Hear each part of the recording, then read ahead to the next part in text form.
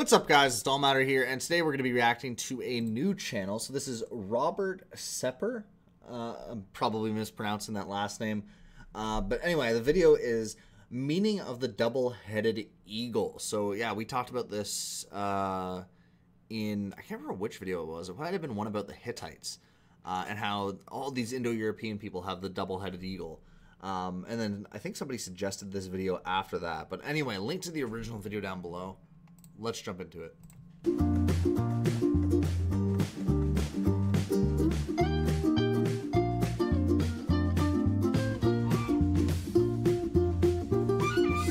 Swan.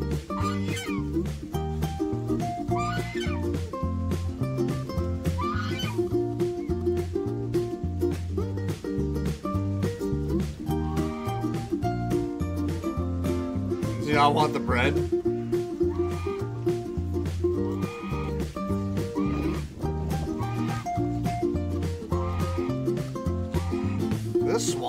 Duck?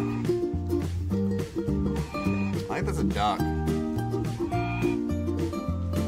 That's definitely not a swan. It's a weird looking duck.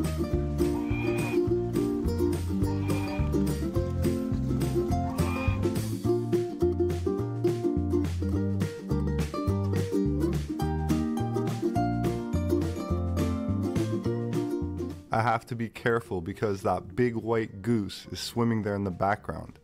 And Oh, it's a goose. Okay.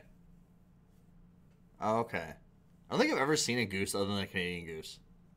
it turns out that he's not a fan of anthropology. You might recognize him from some of my past videos. That's a swan. He never think. Seems no, that is hungry a goose. That's the goose. and tends to scream and shout at me when I try to feed him. So I'll try to keep out of his way from now on.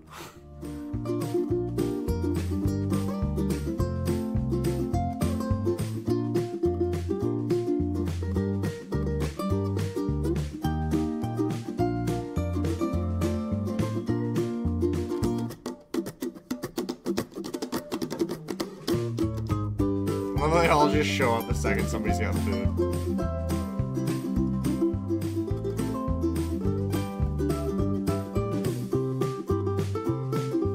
He's fucking with the other birds. He's a dick.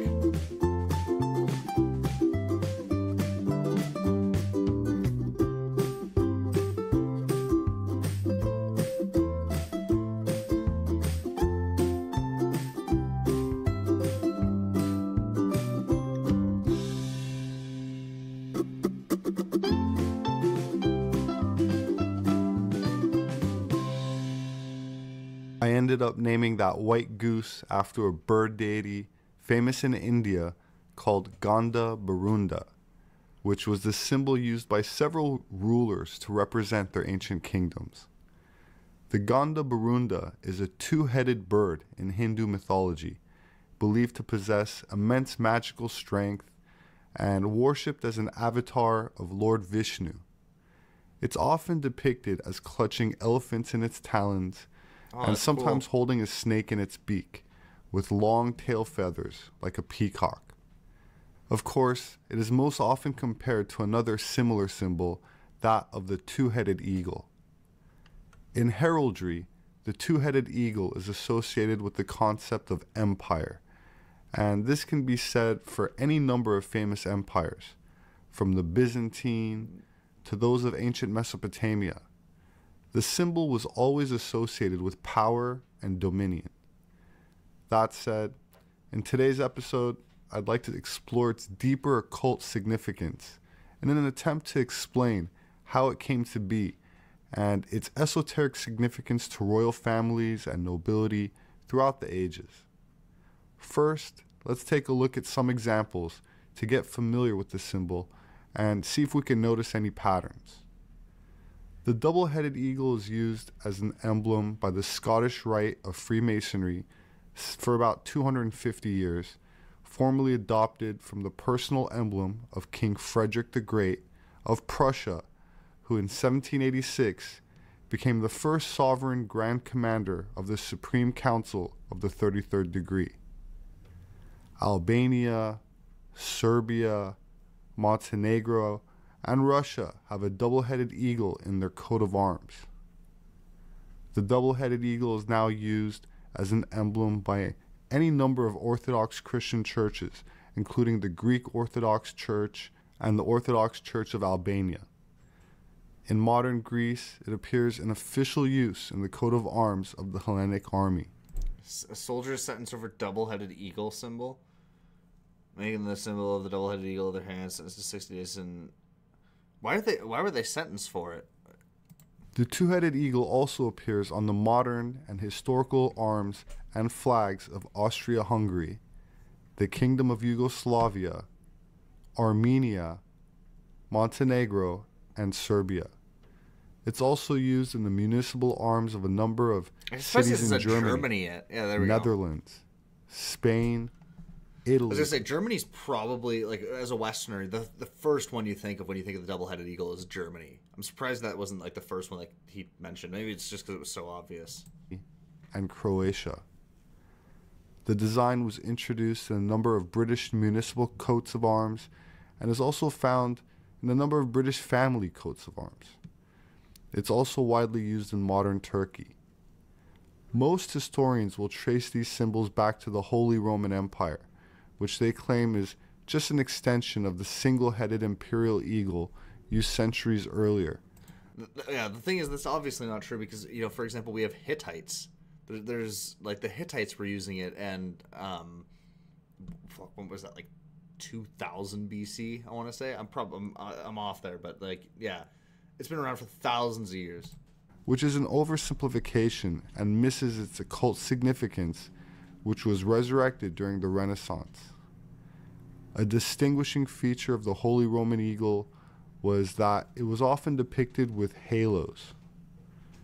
After the dissolution of the Holy Roman Empire in 1806, the double headed eagle was retained by the Austrian Empire and served also as a coat of arms of the German Confederation. The double headed eagle was a main element of the coat of arms of the Russian Empire for several centuries until 1917 and the Bolshevik Revolution. I'll add a link in the description to a video I did on the subject. It's an important presentation and I suggest watching it. The woke Bolshevik Revolution. It was restored in 1993 and remains in use in Russia up until present, although the eagle on the current coat of arms is golden rather than the traditional imperial black. The double headed eagle motif was also adopted in the Muslim world, notably on coins and some stone reliefs on the towers of Turkish fortresses.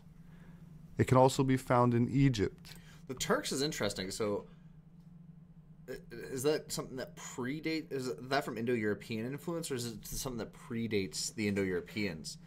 Because you, you see that with some stuff like the swastika, for example. There's Native American tribes that have it, which means that you know the the last common ancestor of Eu- Eu- Europeans, Eurasians, and Native Americans must have been using the swastika for it to be showing up both among the Indo-Europeans and Native American groups. I wonder if it's something similar with that with the Turks, or do they pick it up along the way from because they were obviously interacting with like the Scythians and the Tokharians and the I- Iranians and stuff like that. I wonder um, the Greeks eventually they conquered. On a stone relief on the walls of the Cairo citadel. The early Byzantine Empire used the single headed imperial eagle motif, as the double headed eagle appears only in the medieval period by about the 10th century in Byzantine art, during an influx of Aryan migration into Europe, which brought certain esoteric ideas with them, even though the symbol was used in Anatolia and Eurasia for many millennia before that. After the Bronze Age collapse, there's a gap for more than two millennia before the reappearance of the double headed eagle. Use of the double headed eagle in the Hittite imagery has been interpreted as a royal insignia. The Hittites were among the first populations to break off from the original demographic of Proto Indo Europeans, or Aryans, as is indicated by their now extinct language. The double headed eagle, like the swastika, can be found all over the world, including the Americas and civilizations of the New World. Okay, so interesting. So it is. uh, See, that I did not know. So that is very similar to the swastika, where you see Native Americans having the swastika as well, which means this also must date back to the the split between the groups that would become the Native Americans and the, the Eurasians. Along with the swastika. Here we see examples of pre Columbian two headed eagles, with the one in the center attributed to the Olmec period. Despite popular belief, the Olmec were not a single civilization or one race, but speaks to a time period comprising multiple races and cultures. There were black people in the Americas prior to the slave trade. There were East Asian phenotypes, and there were Caucasians, especially bearded ones. There's ample evidence for transatlantic contact during the entire Holocene, genetically as well as archaeologically. Okay, so the, so right off the bat, the the the Africans there is no genetic evidence of that. There is genetic av- evidence of Australasians, which I you know phenotypically they're, they're you know very similar looking. Um, it, based on the best genetic evidence that we have now, the Australasians were first, or Australasian related group was first, was then taken over by a later migrating group um, that had uh, you know, that was related to Europeans, right? This is the, the sorry, the had split from what would become Europeans, I should say, um, and this is the one that would go on to dominate. And then there's, you know, minor admixture from Polynesians and from Siberia and stuff like that later on. Um, but what is interesting is the ancestral North Eurasians, which are a group uh, from that ended up being one of the largest contributors to Indo-European Yamnaya DNA and the first instance of blondism. The highest rate of DNA from that group found outside of uh, outside outside of Indo-European people is among Peruvian natives who also have mummies with red and blonde hair. Uh, so it seems like it's not so much Caucasian. It's not like Caucasians, like you know, white people going over there. It's basically uh, the these two groups split, and then you have selection pressure both in Northern Europe, which causes this high instance of blondism, uh, and then you have another selection pressure happening in Peru, modern day Peru, that causes high incidence of, of blondism and stuff like that, right? So it's it's they have a common origin, but it's not like white people like we would think of, you know. It's, it's like a cousin population. It's not actually like Europeans going over there. Of course, much of the Mesoamerican double headed eagle symbology came following the Spanish conquest, as the Aztec eagle was supplanted by the double headed imperial eagle of the Habsburgs, the insignia of the ruling dynasty in Spain, with an overt attempt to also replace a considerable amount of double headed serpent symbolism in the New World which brings us to the esoteric meaning, which is also encoded in symbols from Mesopotamia and Egypt, where a winged disc will have two serpents dangling from the bottom.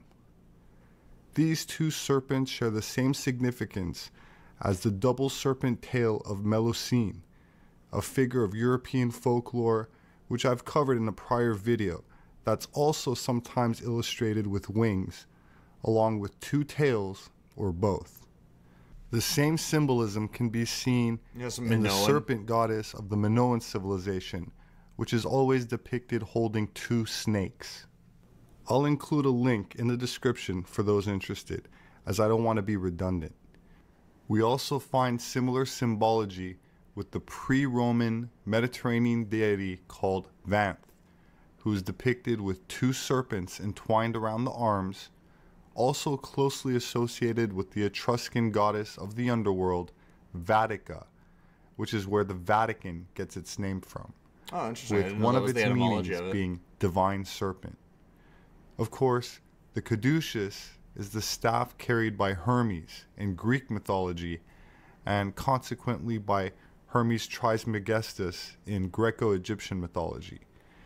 It's a short staff entwined by two serpents, usually surmounted by wings.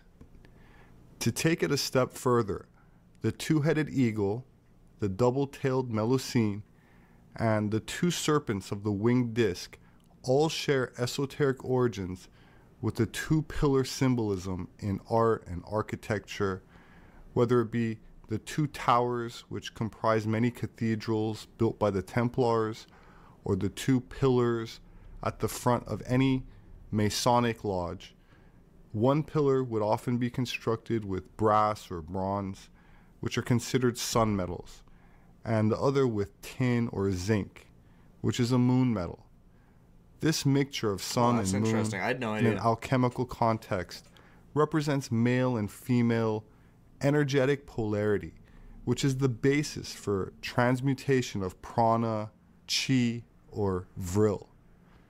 In regards to the two headed eagle, phoenix, or serpent, these are all affiliated with the solar mysteries and represent both the sun and the planet or god closely associated with the sun, which is, of course, Jupiter. The same way that Vishnu, the deity linked to the Gandaberunda bird, is linked to Jupiter, so is Marduk, Ahura Mazda, and Zeus, as Jupiter traverses the sun's ecliptic over its roughly 12 year orbit, passing through the 12 houses of the zodiac. In addition to Jupiter's 12 year orbit and the 12 months in one orbit of the Earth around the Sun, there's a 26,000 year cycle that is also divided into 12, known as the precession of the equinox. This cyclical progression through the stars is recorded in many ways through numerous civilizations, from the Epic of Gilgamesh. I always find it fascinating how people were able to figure out the star stuff like way back in the day. I mean, I guess you didn't have much else to do at night, right? Like you're not going to be sitting up or reading or fucking watching Netflix or something. Um, but just how much they were able to figure out and just do the math on, you know, and, and like, oh yeah, this will take twenty six thousand years to come back around. It's like, bro, how much are you staring at the fucking sky that you realize that? Gilgamesh, recorded on 12 tablets, to the 12 labors of Hercules, which describes his journey through the 12 signs of the zodiac, to the pre Christian Mithraic mysteries of the ancient Aryans of Iran, where the solar deity Mithras is often depicted killing a bull, ending the astrological age of Taurus around 2000 BC, ushering in the age of Aries. As far as Judaism is concerned, this transition is told in the story of Moses, where he comes down from Mount Sinai after speaking to God to find his people worshiping a golden calf. Gold is the metal associated with the sun, and the calf represented Taurus, which Moses destroys, making way for the new age of the ram. The age of Aries ended around the time of Jesus, which represents the age of Pisces, and the fish symbology we find interwoven into the New Testament. This should not in any way discount the spiritual message revered by Christians, but all Abrahamic faiths are part of the solar mysteries, which did not start with Jews, but stretches back into the Pleistocene. In order for people to document a cyclical pattern in the sky that takes 25,920 years to complete, it means that people must have been documenting the changes in the heavens for at least that long. Imply- Not necessarily. I mean, if you see something's moving at a rate, at a certain rate, you're gonna know how long it's gonna take it. I guess it, it depends on how much information you have, right? Um, but yeah, if you if you you see something moving at a certain rate, you're gonna know how long it's gonna take to get back to that position, right? You, so, yeah, you you just need to watch it long enough to see its rate of movement Applying that and have something else to compare it to. astrotheology likely originated during the time period the Greeks and Egyptians attributed to Atlantis.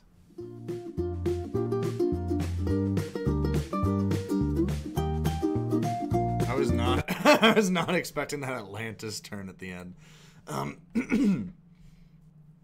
yeah, that was uh, that was interesting. I, I didn't realize the etymological origin of the Vatican, or um, I, I knew a lot of the stuff about like the the old like Roman mysteries and obviously uh you know the different ages and stuff. So much of that is that that is like well documented and well known.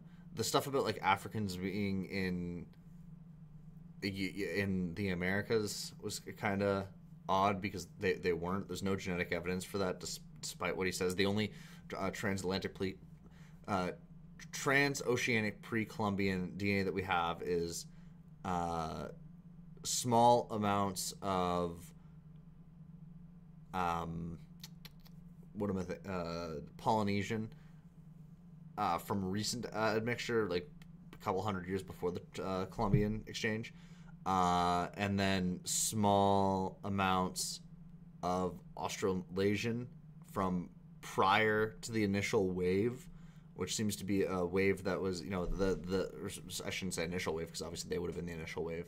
Um, but yeah, there's no there's no evidence of like this is like a common like black conspiracy like black nationalist conspiracy theory that you hear a lot but you know maybe there will be evidence eventually. I'm not, I'm not counting it out but as of right now there is none.